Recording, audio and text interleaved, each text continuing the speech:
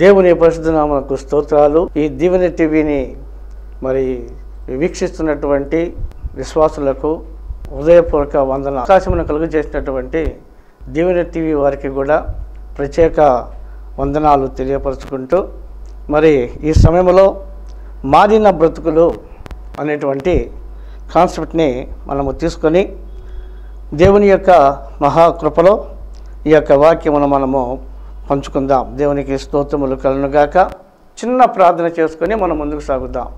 దయగలిగిన మా ప్రభువ కృపగలిగిన మా తండ్రి మీకు వందనాలు. అయా దీవెన టీవీ వారు కలుగు చేసినటువంటి యొక్క అవకాశాన్ని సద్వినియోగపరచుకోవడానికి అనేక మందికి ప్రభ మాదిరికరముగా నీ వాక్యమును ప్రభ విత్తడానికి నీ కృప సహాయము చేయమని వేడుకుంటున్నాం మారిన బ్రతుకులు అనేటువంటి కాన్సెప్ట్ మీద ప్రభ ఈ సమయంలో మాట్లాడబోచుండగా నీ మాటలు నా నోట నింపి బలపరచండి.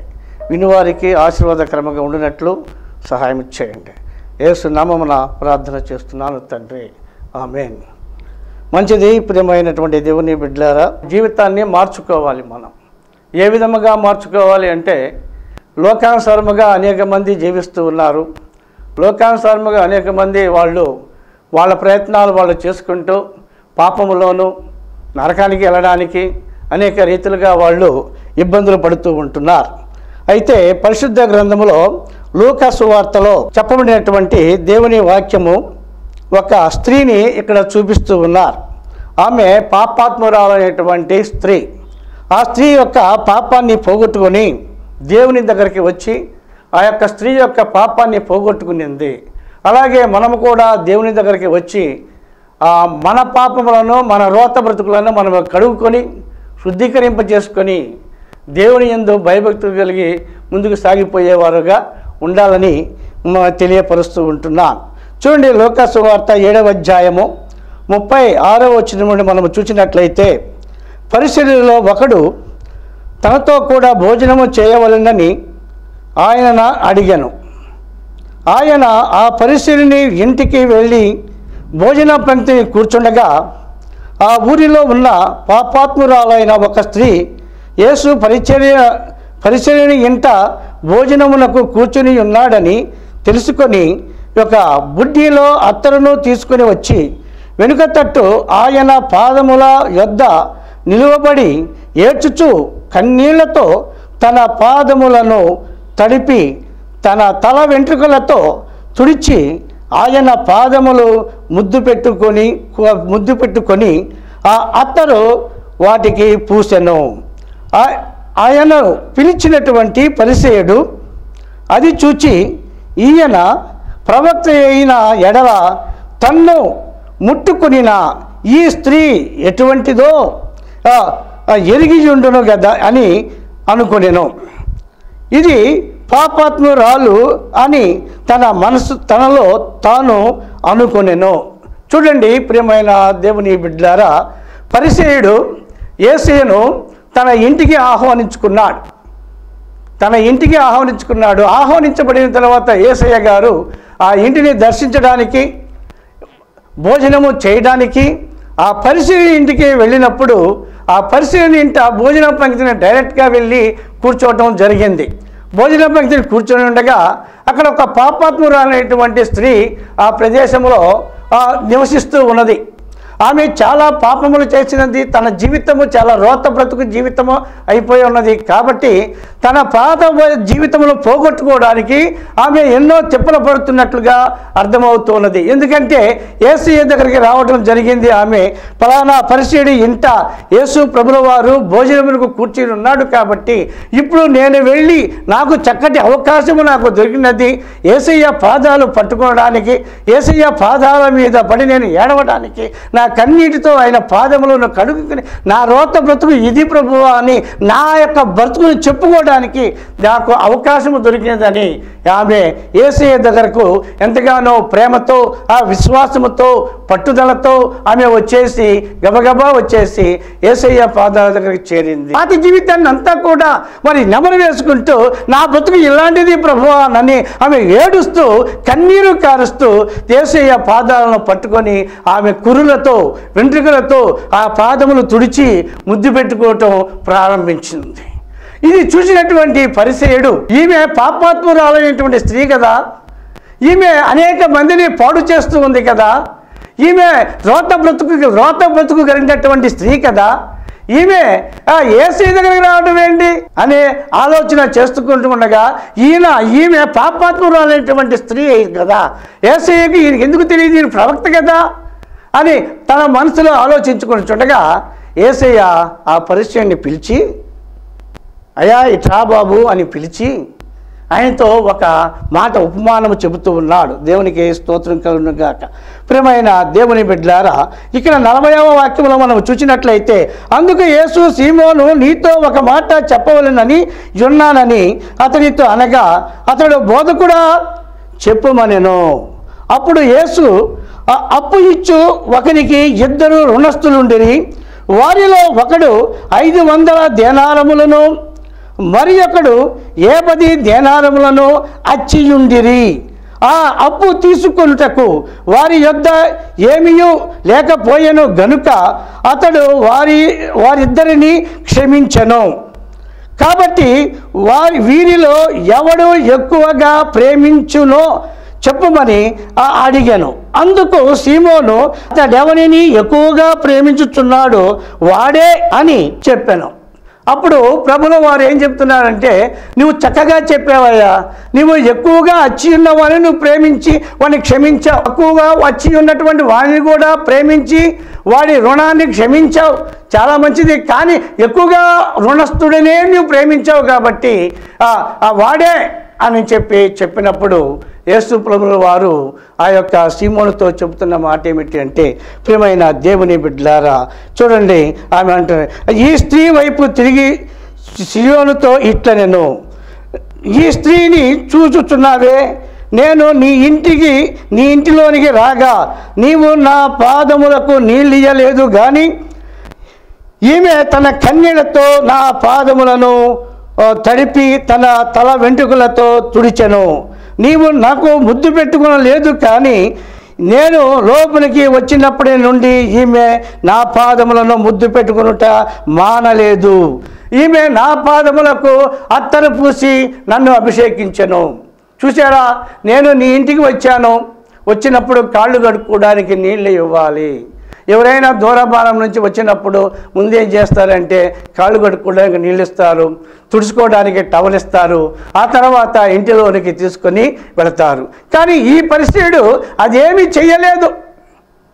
అదేమి చేయలేదు. గౌరవార్థమైనటువంటి క్రియ ఈ పరిచయుడు చేయలేదు కాబట్టి ఈ మాట ఆయనతో చెబుతూ ఉన్నాడు. నువ్వేమి ఇవ్వలేదు కానీ ఈమైతే తను వచ్చి నేను వచ్చినప్పటి నుండి కూడా కన్నీరు కారుస్తూ ఉంది. తన కురులతో తుడుస్తూ ఉంది. నన్ను ముద్దు పెట్టుకుంటూ ఉంది.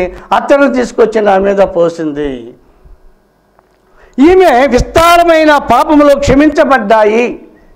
ఈమె నన్ను విస్తారముగా ప్రేమించుచున్నది కాబట్టి ఈమె విస్తారముగా క్షమించబడినది. అని చెప్పి ఆ యొక్క సీములతో చెప్పటము జరిగినది. దేవునికి స్తోత్రం కలుగాక అలెలుయ్య చూడండి నలభై ఏడవ వాక్యములో ఆమె విస్తారముగా ప్రేమించను గనుక ఆమె యొక్క విస్తార పాపములు క్షమింపబడినని నీతో చెప్పుచున్నాను. ఎవనికి కొంచెముగా క్షమింపబడునో వాడు కొంచెముగా ప్రేమించను అని చెప్పి నీ పాపములు క్షమింపబడి ఉన్నవి అని ఆమెతో చెప్పాను. దేవునికి స్తోత్రం కలుగునుగాక. ప్రేమైనటువంటి దేవుని బిడ్డలారా మనము దేవుని దగ్గరికి వచ్చినట్లయితే దేవుడు మన దగ్గరకు వచ్చి మనల్ని ఆదరిస్తాడు. సంరక్షిస్తాడు కాపాడుతాడు మనలను వర్ధిల్లింపచేస్తాడు. ఈ యొక్క స్త్రీ పాపాత్మురాలైనటువంటి స్త్రీ ఏసయ్య దగ్గరికి వచ్చి కన్నీటి ద్వారా ఆయా ఆ మనసులో ఉన్న బాధనంతా కూడా కన్నీటి ద్వారా ఏసయ్య దగ్గర తెలియపరుచుకుంటూ ఉంది. ఆయనకు పరిచయం చేయటం మానలేదు. కాబట్టి ఆ ప్రేమను చూచినటువంటి యేసు ప్రభుల వారు ఆమె విస్తారమైనటువంటి పాపములను ఆ క్షమించాడు. నీ నా పాపములను కూడా క్షమించడానికి యేసుక్రీస్తు ప్రభువు వారు సిద్ధముగా ఉన్నాడు. కాబట్టి ప్రియమైన దేవుని బిడ్డలారా నీవు నేను మనమందరమును కూడా ఏసయ్య పాద సన్నిధిలో చేరి ఆయన యొక్క దీవెనల కోసం మనము ఎదురు చూస్తూ ముందుకు సాగిపోవాలని నేను తెలియపరుస్తూ ఉంటున్నాను. మరి ఇంకొక సందర్భాన్ని మనము చూద్దాము. దేవునికి ఏ స్తోత్రం కలుగును గాక లోకాసు వార్త పద్దెనిమిదవ అధ్యాయంలో ముప్పై ఐదు నుంచి. ఆయన ఎరుకో పట్టణమునకు సమీపించినప్పుడు ఒక గుడ్డివాడు త్రోవ ప్రక్కన కూర్చుండి వృక్షమొడుగు కొను చుండెను. జన సమూహము వాటిపోవు చున్నట్లు అప్పుడు విని ఇది ఏమని అడుగగా వాడు నజరేయుడైన యేసు ఈ మార్గమున వెళ్ళుచున్నాడని వానితో చెప్పిరి. అప్పుడు వాడు యేసు దావీదు కుమారుడా నన్ను కరుణించమని కేకలు వేయగా ఊరుకుండమని ముందర వెళుచున్న వారు వానిని గర్దించిరి గాని వాడు మరి ఎక్కువగా దావీదు కుమారుడా నన్ను కరుణించము. ఆటంకపరుస్తూ ఉన్నారు ఇతను యేసు ప్రభువారు ఈ మార్గమున వెళుతున్నాడని తెలుసుకున్నాడు. ఏ విధంగా అది చప్పుడైంది? గుడ్డివాడికి ఏం కనబడదు కాబట్టి వాడి చెవులు పనిచేస్తున్నాయి. వాడి చెవులు పనిచేస్తున్నందు వలన వాడు ఆ శబ్దమును విన్నాడు. చాలా జనాంగం వెళుతూ ఉన్నారు. ఏంటి సందడి? అని ఒకరిని పిలిచి అడుగుగా ఏసయ్య ఈ మార్గమున వెళుతున్నాడయా? అని చెప్పి చెప్పినప్పుడు ఓ దావిదు కుమారుడు యేసుక్రీస్తు ప్రభువారు లోక రక్షకుడు ఏసయ్య ఈ మార్గమును వెళుతున్నాడా? అయితే నాకు రక్షణ దొరుకుతుంది నాకు సమాధానము దొరుకుతుంది నాకు చూపు దొరక క- దేవుడు అనుగ్రహింపచేస్తాడు. నేను ఆయనను వెంటాడతాను అని చెప్పి కేకలు వేయటం మొదలుపెట్టాడు. మన జీవితంలో కూడా మనము ఏసైను వెంటాడేవారముగా ఉండాలి. ఆయన మనలను ఆశీర్వదించే వరకు ఆయన మనల్ని కరుణించే వరకు ఆయన మనలను అభివృద్ధి చేసే వరకు కూడా మనం వెంటాడుతూనే ఉండాలి. ఈ యొక్క గుడ్డివాడు ఏం చేశాడంటే దావిదు కుమారుడా నన్ను కరుణించము నన్ను కరుణించము నన్ను కరుణించము అని చెప్పి ఆయన అడుగుతూ ఉన్నా. ఎంతో ఎంతో ఎంతో ఎంతో దీనంగా ఎంతో ధీనంగా అడుగుతూ ఉన్నాడు ప్రియమైన దేవుని బిడ్డలారా. ఎంతో ధీనంగా అడుగుతున్నాడండి. అప్పుడు ఏసయ్య గారు ఆ ఆగి ఆ గుడ్డివాడిని పిలవండి అని చెప్పి పిలిచినప్పుడు అయ్యా నేను నీకేమి చేయగలను అని యేసు ప్రభు వారిని అడిగినప్పుడు ఆయన చెప్తున్న మాట ఏంటంటే అయ్యా నేను చూపు పొందగోరుచున్నాను నాకు చూపు దయచేయము అని అడిగినప్పుడు ఆయన చెప్పాడు నీ విశ్వాసమే నీకు చూపును ఇస్తుంది కాబట్టి నువ్వు చూపు పొందుకో అని చెప్పి చెప్పాడు. దేవునికి స్తోత్రం కరుడు కాక ఎమ్మటే చూపు వచ్చేసింది ఎమ్మటే చూపు వచ్చేసింది ప్రియమైన దేవుని బిడ్డలారా ఏసయ్య నోట మాట రాగానే అతనికి చూపు వచ్చేసింది. చూస్తున్నాడు ఏసీను ఆరాధిస్తున్నాడు గణపరుస్తున్నాడు. ఏసయ్యతో కూడా ప్రయాణం అయిపోతున్నాడు.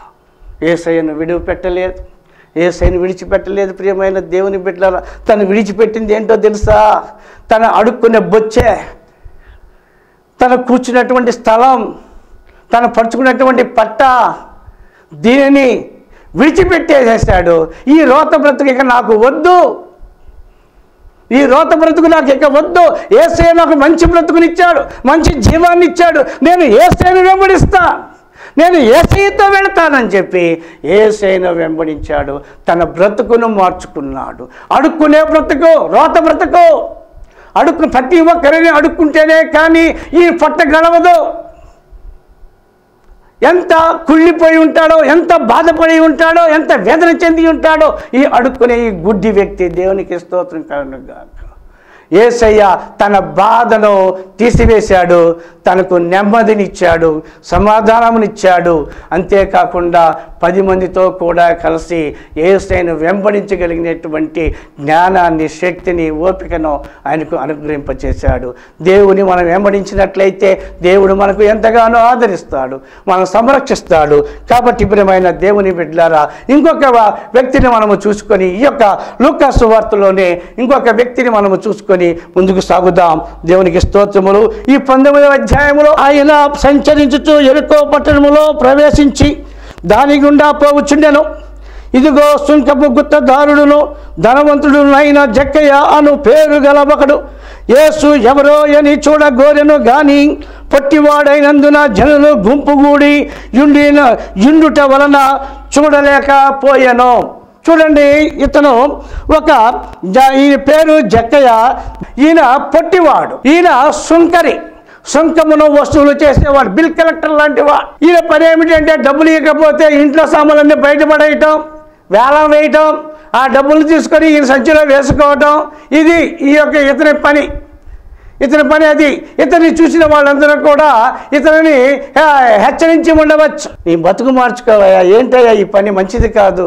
ఆ ఏసై దగ్గర ఎల్లు అని చెప్పి ఉండవచ్చు. దేవునికి స్తోత్రం కారణం గాక అప్పుడు ఏసయ్య ఆ మార్గమును వెళుతున్నాడని తెలుసుకొని ఓ ఏసైని ఒకసారి చూద్దాం. ఆయన ఎలా ఉంటాడో ఏ రీతిలో ఉంటాడో. అందరూ కూడా ఏసయ్య ఏసయ్య ఏసయ్యా అని ఆయన వెళుతున్నారు. నేను కూడా చూద్దామని చెప్పి ఆయన పరిగెత్తుకొని వచ్చాడు కానీ జనాంగంలోనికి వచ్చాడు కానీ పొట్టివాడైన ఎందున అందరూ పొడుగు పొడుగు ఆరు అడుగుల ఎత్తుగలిగిన వారు. ఈయనేమో మూడు నాలుగు అడుగులు ఎత్తుగలిగిన వాడు. అయితే ప్రేమైన దేవుని బిడ్డలారా చూడలేకపోయాడు. చూడలేకపోయాడు ప్రియమైన దేవుని బిడ్డలారు. కానీ ఆయనకి పట్టుదల ఉంది? ఏసయ్య ఎలా ఉంటాడో చూడాలి. ఏసైను ఒక్కసారి చూస్తే నా జన్మ తరిస్తుంది అనుకున్నాడేమో ప్రియమైన దేవుని బిడ్డలారా. ఎలాగో ప్రయత్నం చేశాడు. చివరాఖరకు ఏసయ్య దగ్గర చూడాలని ఆశ కలిగాడు. వచ్చాడు. ఒక మేడి చెట్టును చూశాడు. ఆ చెట్టుని గబగబా ఎక్కి వేశాడు.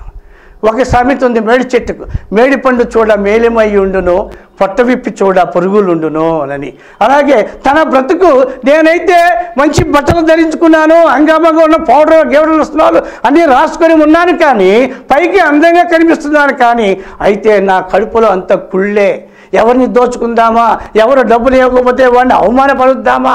ఆ ఎవరిని నటి వీధిలోనికి లాగుదామా? అనేటువంటి ఆలోచన నాది. అలాంటి ఆలోచన కలిగినటువంటి వ్యక్తి ఆ తన జీవితానికి సంబంధించిన చెట్టునే ఎన్నుకున్నాడు. ఆ చెట్టు పైకి వెళ్ళాడు. ఆ ఆ చెట్టుపైకి వెళ్ళి కూర్చొని చూస్తూ ఉండగా ఏసైను చూస్తూ ఉండగా ఏసయ్యే ఆ చెట్టు దగ్గరికి వచ్చి ఆ కొమ్మ దగ్గరికి వచ్చి ఆయన నిలబడ్డ ప్రదేశంలోనికి వచ్చి తలపైకెత్తి జకయా నేడు నేను నీ ఇంట బస చేయవలసి ఉన్నది కాబట్టి నువ్వు త్వరగా దిగమన్నప్పుడు ఎట్ట ఎక్కాడో ఎట్ట దిగాడో కానీ ప్రియమైన దేవుని బిడ్డల పెద్ద చెట్టుని త్వరగా దిగి ఏసయ్య దగ్గరికి వచ్చేసాడు. ఏసయ్య దగ్గరికి వచ్చేసాడు. ఆయన ఎంట ఉన్న వారందరూ కూడా అంటున్నారు ఈయన పాపాత్ముడు ఈయన సుంకరి మనల్ని హింసించేవాడు మనల్ని బాధ పెట్టేవాడు. మనలను ఎంతో కష్టపడి పెట్టినటువంటి ఈ వ్యక్తి ఇంటికి వెళ్తాడేంటి? పాపి ఇంటికి ఏసయ్య. ఆయన ఇంటికి వెళ్తానంటాడేంటి అని చెప్పి ఆయన చెప్తూ ఉండగా అంటే అందరూ సణుక్కుంటూ ఉండగా ఈ యొక్క జక్కయ్య తన మనసును మార్చుకున్నాడు. తన స్థితిని మార్చుకున్నాడు. చివరాఖరుకు ఆయన చెప్తున్నాడు దేవునికి స్తోత్రం కలుగును గాక ఇదిగో ఎనిమిదవ వాక్యంలో మనం చూసినట్లయితే జక్కయ్య నిలువబడి ఇదిగో ప్రభువ నా ఆస్తిలో సగము బేదలకు ఇచ్చుచున్నాను నేనెవని యొద్దనైనను అన్యాయముగా దేనినైనను తీసుకుని ఎడల అతనికి నాలుగంతలు మరలా చెల్లింతునని ప్రభువుతో చెప్పాను. చూడండి ఏసైను చూడాలని వచ్చాడండి. ఏసయ్య ఎలా ఉంటాడో చూడాలని వచ్చాడండి. ప్రియమైన దేవుని బిడ్డలారా చూడండి. ఏసయ్య దగ్గరికి వచ్చినటువంటి వ్యక్తి ఏసయ్యను చూడగా ఏసయ్య నీ ఇంట నేను బస చేయవలసి ఉన్నదయ్యా. నువ్వు రానగా. అయ్యా నేను పాపినయ్యా. నేను శంకరనయ్యా నేను దౌర్భాగ్యుడయ్యా నేను నీ ఇంటిలో నా ఇంటిలో నువ్వు రావడానికి అర్హత లేనివాడనయ్యా. అని అని చెప్పలేదు ప్రేమైన దేవుని బిడ్డలారా. అర్హతను కొని తెచ్చుకున్నాడు. అర్హతను తీసుకున్నాడు. తన పాపాన్ని ఒప్పుకున్నాడు. ఎవరి దగ్గర అయితే అన్యాయంగా తీసుకునేవాడు నాలుగింటి ఇస్తానని ఒప్పేసుకున్నాడు. ఇక పాపం చేయనని ఒప్పేసుకుంటున్నాడు. దేవునికి స్తోత్రం కనుక నువ్వు నా ఇంట ఉండవలసిందే. నీ సమయంలో విడిచిపెట్టానంటే నా అంత దరిద్రుడు ఉండడు. నువ్వు తప్పనిసరిగా నా ఇంట నీవు నిలవాల్సిందేనని చెప్పి జకయ్య ప్రియమైన దేవుని బిడ్డలారా ఏసేను తన ఇంటికి తెచ్చుకున్నాడు. నీ ఇంటికి రావాలని ఏసేను కోరుకుంటున్నావా ప్రియ దేవుని బిడ్డలారా? నీ ఇంటిలో ఏసీయ భోజనం చేయాలని కోరుకుంటున్నావా? కోరుకుంటే ముందు మన రోత బ్రతుకుని కడుక్కోవాలి. మన చెడ్డ బ్రతుకుని తీసివేసుకోవాలి. మన నోట బూతులు ఉండకూడదు. మన నోట సరస్వత్తులు ఉండకూడదు. మన నోట ఇతరులను దూషించే మాటలు కానీ ఏది కూడా మన నోట ఉండకూడదు ప్రియులారా. మనం దేవుని బిడ్డలమండి. సజీవుడైనటువంటి ఏసయ్య బిడ్డలమండి మనము. కాబట్టి మనము దేవుని ఎందు విశ్వాసం ఉంచి ఆయన ఎందు ముందుకు సాగుద్దాం ఆ ఇంటికి రక్షణ వచ్చింది.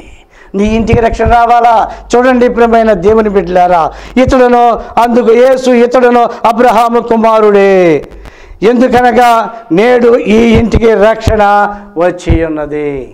నీవు కూడా నీ పాపం ఒప్పుకొని నీవు దేవుని బిడ్డగా నిలబడితే నీ ఇంటికి కూడా రక్షణ వస్తుంది. నీవు దేవుని బిడ్డగా పరిగణించబడతావు. అబ్రహాము సంతానములో ఈ జక్కయ్య ఏ విధముగా అయితే నిలబడ్డాడో ఏసయ్య తరపున మనమందరం కూడా ఏసయ్య బిడ్డగా మనం నిలబడతాం. ఏసయ్య దగ్గరికి రండి. ఏసయ్యను మనం ఆరాధిద్దాం. ఏసయ్యను మనము కొనియాడదాం. కాబట్టి ఆయన యేసు ప్రభులో ఒక మాట చెప్తున్నారు. పెద్ద వచ్చినప్పుడు నశించిన దానిని వెతికి రక్షించుటకు మనుషు కుమారుడు వచ్చినని చెప్తున్నాడు. దేవునికి స్తోత్రం కలను గాక. చూడండి నశించుచున్న వారి యొద్దకు ఏసయ్య వస్తున్నాడు. పాపి యొద్దకు ఏసయ్య వస్తున్నాడు. మోసము చేసేవాడి దగ్గరికి ఏసయ్య వస్తున్నాడు. కానీ ప్రియమైన దేవుని బిడ్డలారా నీతిమంతులోకి ఏసయ్య అవసరమే. కానీ వాళ్ళ దగ్గరికి వెళ్ళవలసిన అవసరం లేదు. ఎందుకంటే రోగులకే వైద్యుడు కానీ ఆరోగ్యవంతుడికి వైద్యుడు అక్కరలేదు కదా ప్రియమైన దేవుని బిడ్డలారా. మనమందరము రోగులమే. పాపపు రోగులము. దేవునికి స్తోత్రం కలుగుగా మనమందరం కూడా పాపం అనేటువంటి రోగంతో మనము నిండిపోయి ఉన్నాం. పాపాత్మరాలు స్త్రీని ఏసీఎం ముట్టి ఆమెను ఆశీర్వదించి ఆమె పాపములను తీసివేశాడు. నీ పాపములను కూడా తీసివేయడానికి ఏసయ్య సిద్ధముగా ఉన్నాడు. రండి మనమందరం మనం కలిసి ఏసయ్యను ఆరాధిద్దాం ఏసయ్య నామమును గణపరుద్దాం అలాగే ఇదిగో గుడ్డివాడు తన పాత జీవితాన్ని విడిచిపెట్టాడు అడుక్కునే జీవితాన్ని పారవేశాడు. తన ఆ రోత బ్రతుకు నాకు వద్దు నాకు ఏసీ ఇచ్చు బ్రతుకు కావాలని ఏసీతో వెంబడించాడు. ప్రియమైన దేవుని బిడ్డలారా ఈ పొట్టి జక్కయ్య అయితే తన పాపాన్ని ఒప్పుకొని తను పా ఎవరికి అన్యాయంగా చేసే వారికి న్యాయం చేస్తానని ఆయన తీర్మానం చేసుకొని ఏస్తేను తన ఇంటికి తెచ్చుకున్నాడు. ఇసుడను అబ్రహాము సంతానంలో పుట్టినవాడే అబ్రహాము కుమారుడేనని మరి పేరు తెచ్చుకున్నాడు. ప్రియమైన దేవుని బిడ్డలారా నీవు కూడా మంచి పేరు తెచ్చుకోవాలంటే ఏసఐ దగ్గరికి రండి. ఏసైను ఆరాధిద్దాం ఏసైను కొనియాడదాం. ప్రియమైన దేవుని బిడ్డలారా దేవుడు ఈ పరిశుద్ధ వాక్యమును మన వీటికిలో దీవించి ఆశీర్వదించి మనందరినీ ఫలింపచేయను గాక. చిన్న ప్రార్థన చేసుకుందాం. దయగలిగిన మా ప్రభువా మీకు వందనాలు చేయించుకుంటున్నాం. ఈ ప్రోగ్రామ్ని వీక్షిస్తున్నటువంటి ప్రతి బిడ్డను దీవించండి. వారి బ్రతుకులను మార్చుకొని నీ నామను స్థుతించుకుంటూ నీ నామను ఘనపరుచుకుంటూ ప్రభా ముందుకు సాగిపోయే భాగ్యమును అందరికీ దయచేయమని ఏసయ్య పుణ్య నామమున ప్రార్థించి వేడుకొనుచున్నాను తండ్రి. ఆమె తండ్రి యొక్క యో కుమారుని యొక్క యో పరిశుద్ధాత్మ యొక్క అన్యోన్య సహవాసము సమాధానం. కూడి వచ్చిన మనకందరికను సర్వ పరిశుద్ధులకు నివాసులకును ఈ దీవెన టీవీ వారికిని నీ కృప కాపుదల ఇప్పుడు ఎల్లప్పుడు సదాకాలము తోడై ఉండి మమ్మల్ని అందరినీ చేయతనిచ్చి ముందుకు నడిపించునుగాక ఆమెన్. అందరికీ వందనాలండి. ఆ పేరు రెవరెండ్ పివి రత్నం గారు. అలాగే నేను రాజరాజేశ్వరిపేటలో ఉన్న కొడిగిల రాజారావు మరిమ గారి యొక్క సంఘంలో నేను పాస్టర్గా పనిచేస్తూ ఆల్ ట్రూత్ బైబుల్ థియోలజికల్ యూనివర్సిటీలో ఇన్ఛార్జిగా పనిచేస్తూ దేవుని పరిచయలో ముందు కొనసాగుతూ ఉన్నా. అయితే మా యొక్క మరి అబ్రహాం వెలుపుల గారి ద్వారా ఏర్పాటు చేయబడినటువంటి మరి ఆల్ ట్రూత్ బైబుల్ యూనివర్సిటీలో మరి డెబ్బై మూడు కోర్సులు ఉన్నాయి. చాలా తక్కువ ఖర్చుతో ఎక్కువ లాభాన్ని మీరు పొందుకోవాలంటే సంప్రదించండి. Phone number nine two nine zero five one six three six seven. Rajarajeshwaripeta ప్రపంచ స్వస్థ ప్రార్థనా మందిరం. ఇది నా అడ్రస్ అక్కడికి వచ్చి అడిగితే ఎవరైనా చెప్తారు. దేవునికి స్తోత్రములు. ప్రార్థన అవసరతలు ఉంటే అక్కడికి వచ్చినట్లయితే మీ కొరకు ప్రార్థన చేయబడుతుంది. కాబట్టి అలాగే ఈ దీవెన టీవీ వారు మాకు కలుగు చేసినటువంటి అవకాశాన్ని బట్టి దేవుని స్థుతిస్తూ ఈ యొక్క దీవెన టీవీ అంచెలంచెలుగా ఎదుగుతూ ప్రపంచమంతా దేవుని సువార్త వినిపించే టీవీగా ఉండాలని మరి మీ అందరి యొక్క సహాయ సహకారాలు కూడా అందించి బలపరచాలని మనం చేస్తూ ఈ నా మాటలు ముగిస్తున్నాను. దేవుడు ఈ మాటలను దీవించునుగాక. ఆమెన్.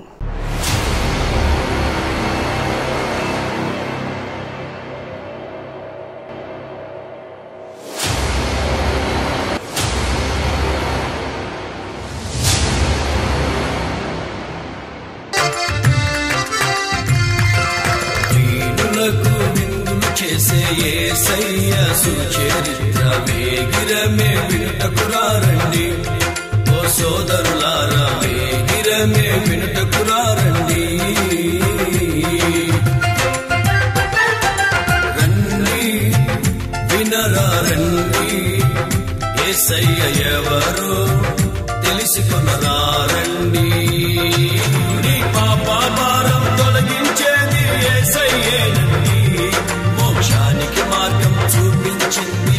செய்ய நன்றி